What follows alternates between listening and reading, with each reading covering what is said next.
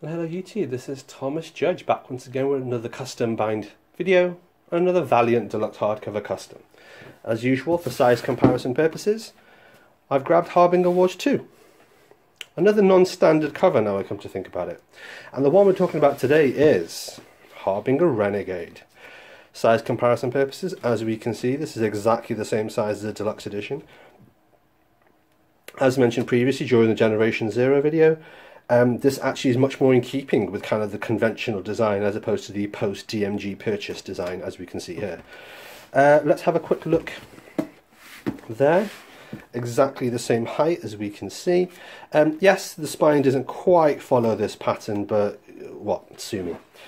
Um, in terms of back image, I've just gone for a single splash image here because making something like this was just really complicated and I didn't want to do it. Um, yeah, let's move our size comparison out of the way and have a chat about Harbinger Renegade. So this is the image I've gone for, um, which I think is the um, it's a cover of a particular issue. We'll get to it in there. And then in terms of the spine, I wasn't loving the purple, but it was just easiest to do the purple. Um, and then we have Harbinger Renegade, another image from another cover there. In terms of the inside flaps, we've got Impact Font, and this is the blurb taken from the first trade paperback. And this is the blurb taken from the second trade paperback. Um, I've gone for standard purple throughout, so just kind of match the spine. Um, it's okay, it's okay. Like I say, I'm not a professional graphic designer, so making these dust jackets or designing them is quite tricky. So let's have a look underneath the dust jacket, right? Let's go, let's dive straight into it. This contains two particular um, trade paperbacks. The first one is The Judgment of Solomon, which is Harbinger Renegade trade paperback 1. That has the first four issues of Harbinger Renegade, as we can see here and then we just dive straight into it.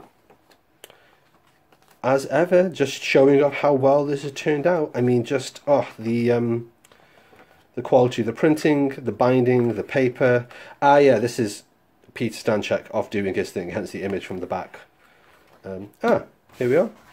Told you got that image from somewhere. I got it from here. So there we go. Um, the Bleeding Monk, one of the many, many valiant monks. Uh, right, and here we are. Slightly tight binding, but I mean, that's fine. That's the nature of these things. Um, yeah, as you can see, it's turned up really, really well. Uh, Harbinger issue 4. I think the cover of the dust jacket was from issue 5. Oh no, it's from the trade. So this is called Massacre, Harbinger Renegade, and this is the cover as you can see. Now, the first thing I just want to point out is that it was criminal that there wasn't a collection of this as a deluxe edition hardcover because this is such an impactful and important event in terms of what happens with Harbingers. And in fact, this whole series is such an impactful and important series, let alone what happens in the Massacre trade paperback, that it's staggering this wasn't collected. I'd, I'd understand it if they just stopped collecting at this point, but what they did in an idiotic move and I blame DMG Entertainment for this, is they then collected Harbinger Wars 2, which is the direct sequel to this event and references all the things that happen in this event. Look at that, by the way. Look at this. Look at this sloppy binding on official on official hardcover. I might get that fixed one day. Anyway, um, so it's criminal that this wasn't wasn't um, released as a hardcover, especially given they released the things that follow on directly from this. I'm not going to give any spoilers other than to say that it's amazing. Um, this contains vol- uh, issues 5, 6, 7, uh, 8, and 0. A couple of these issues really don't go anywhere in the sense that they set things up that were never really followed through. And I think, again, that comes down to the fact that there's a very clear narrative idea of what was happening, and then Valiant got sold out and it went to DMG Entertainment, and lots of the underlying plot threads and plans and things kind of all just got derailed into what became increasingly mediocre stories.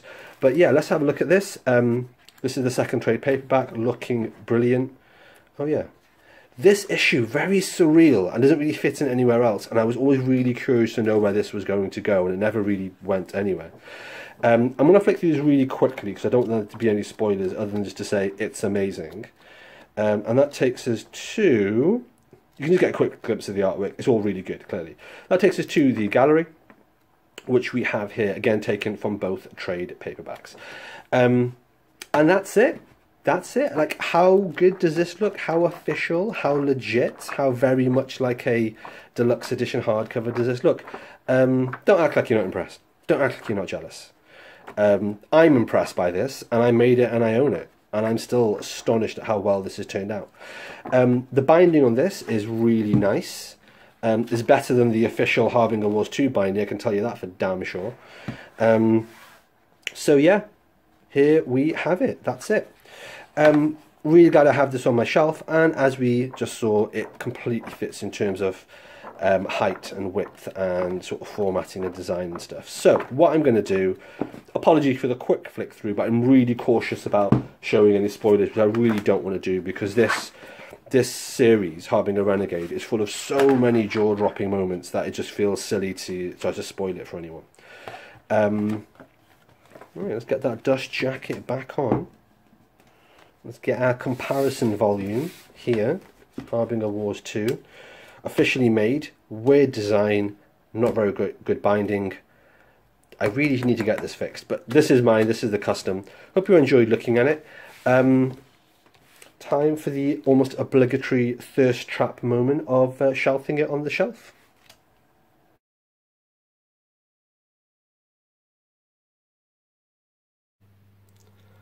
And here we have it, the shelf again. Again, there's the gap. Uh, next to Generation Zero from last time. Several you did point out last time um, that you could see Harbinger Renegade next to it and you were excited to see that. So hopefully this video has been good. And here it is. Let's stick this in there. Oh. All right. Okay. Oof. So we have a sideways shot. Let's have a sideways shot. Oh, there you go. There you go. Was it good for you? All right, thanks for watching, everybody. As always, please like, comment, subscribe. As always, please follow me on Twitter at I am Thomas Judge, where I will post uh, a daily review of whatever comics I've been reading. You can get an idea of what I'm up to on the channel. Um, and as always, please support the channel by heading over to Amazon.com and checking out my prose novel about superheroes. It's a completely original piece of work. The first episode in it is called Arrivals, and the series as a whole is called No Gods or Kings. You can find an excerpt of that on my website, nogodsorkings.com. Until next time, everybody, stay classy.